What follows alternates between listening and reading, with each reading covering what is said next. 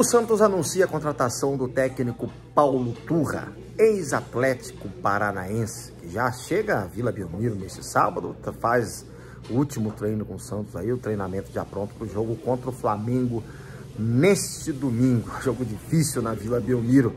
Eu sou Vanderlei Correia, jornalista, torcedor do Santos Futebol Clube. Estou aqui com vocês para falar de Santos. Esse vídeo aqui tem um apoio e patrocínio da 1xBet, o maior home broker do mundo, que patrocina o Barcelona e as principais ligas do mundo.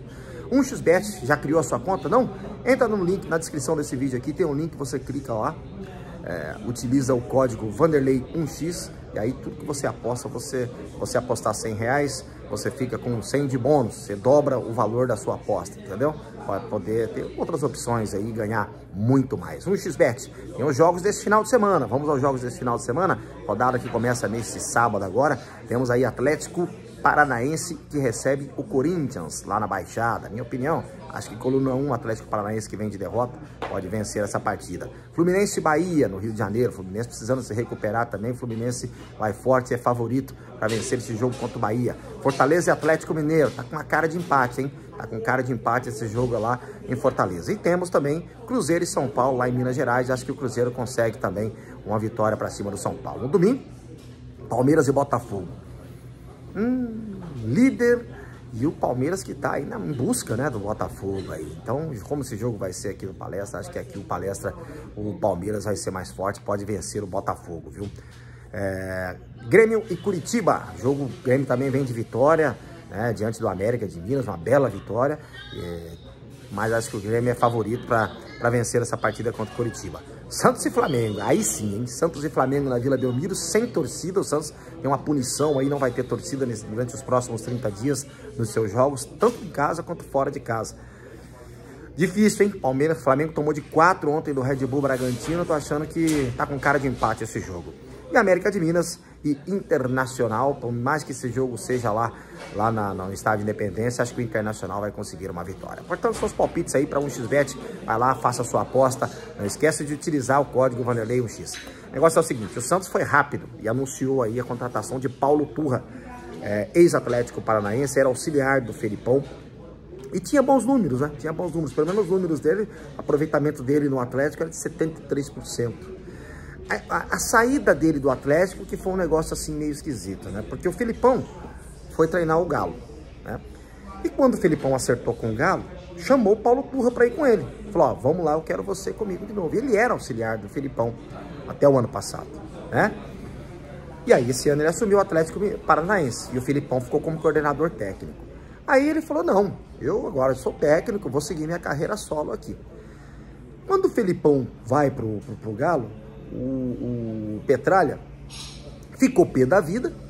Né? Ah, o Felipão foi embora? Foi. Quem que é o auxiliar? É o técnico. Ah, mas ele tá bem, não sei o que e tal, tal. Não, manda embora. Manda embora agora. Quero saber de graça não. Manda embora.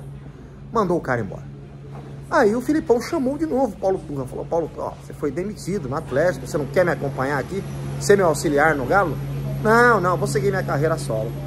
Eis que depois de demitido, mesmo assim, manteve ali. E o Santos agora vai contratar o cara. É mais um estagiário, né? O daí não passava de um estagiário também. Um estagiário que já tinha treinado Internacional e Fluminense, mas, né? Bem limitadíssimo. Bem limitado, né? É, um repertório bem, bem curto como técnico de futebol. Não era técnico para ser do Santos, né? E agora o Santos busca um técnico que tem um melhor aproveitamento, tudo bem, né? Mas com pouca experiência também. Com pouca experiência. Pelo menos o time do Atlético tinha um padrãozinho tático ali, defensivo, aquela coisa tal. E agora, meu amigo, torcedor do Santos, é o seguinte: vocês já fizeram manifestação, já jogaram foguete no, no estádio, já fizeram de tudo. Então agora torça. Torça. Cornete menos e torça mais. Faz isso. Cornete, porque por conta dessas gracinhas aí, gente que nem sócio do clube é, o Santos vai ficar um mês sem jogar com a torcida. Então, vamos, vamos baixar um pouco a bolinha e vamos torcer. Vamos torcer? Né? Já que não é sócio, já que não ajuda, vamos torcer. Torce, torce um pouquinho, corneta menos. Faz isso. Coloque-se no seu lugar. Torça. Faça isso. Torça para dar certo. Tá bom? É isso. E torça bastante. Porque se cair, aí ano que vem tem que ficar torcendo na segunda divisão. para voltar. Então é melhor torcer agora. Corneta menos e torce mais. Faça isso. Já que não vai ter torcida mesmo, fizeram o favor de, de aprontar para não ter torcida. Aliás, ontem aconteceu a mesma coisa lá em São Januário, né? Cadê a mídia para pedir a interdição urgente do, do estádio de São Januário? Porque a Vila Belmiro, nossa, até o ministro do STF se pronunciou, né? Se bobear. Não tem que interditar a Vila Belmiro, não pode ter mais jogo. Preventivamente, 30 dias. O que aconteceu ontem lá em São Januário? Não vão falar nada, não? ESPN, Sport TV, vocês não falam nada. Né?